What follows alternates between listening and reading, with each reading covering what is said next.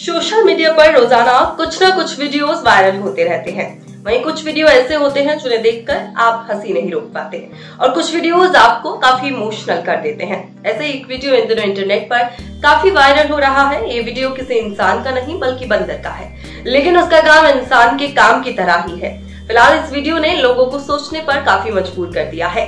जैसा कि इस वीडियो में देखा जा रहा है कि बंदर सड़क किनारे चलकर एक दुकान तक जाता है। दुकान पर पहुँचते ही वह अपनी जेब से पैसे निकालता है और दुकान वाले को दे देता है।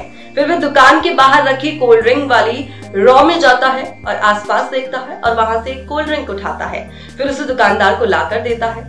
इसके बाद वह दुकानदार के थोड़े पास जाता है और बचे हुए पैसे वापस ले लेता है। साथ ही कोल्ड ड्रिंक को थैली में पैक कराकर दुकान से निकल जाता है। बंदर ने व्हाइट कलर का शर्ट और ग्रीन कलर के शॉर्ट्स भी पहने हुए हैं। बंदर जिस तरीके से चलकर कोल्ड ड्रिंक लेने आता है, उसे देखकर कोई हैरान हो रहा है। यार, हर कोई हैरान में है। इस 21 सेकंड के वीडियो ने लोगों का दिल जीत लिया है? इन कपड़ों को पहनकर बंदर ने सोशल मीडिया पर धमाल मचा दिया।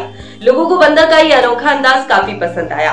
और लोग कमेंट्स कर पूछ भी रहे हैं कि इस बंदर का मालिक आखिर है कौन?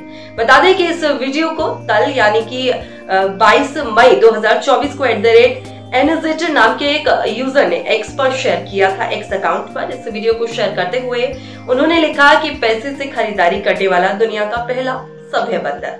फ़िलहाल इस वीडियो को पाँच दशमलव दो हज़ार व्यूज़ आए हैं और साथ ही काफ़ी लाइक्स भी इस वीडियो को मिल चुके हैं। फ़िलहाल आपकी क्या राय है? इस वीडियो को लेकर आप अपनी राय ज़रूर दें। आपको कैसी लगी ये वीडियो ये भी ज़रूर बताएँ। साथ ही ऐसी वायरल वीडियोस और लेटेस्ट अपडेट्स के लिए चैनल को सब्सक्राइब करें और बेल आइकन भी प्रेस कर दें।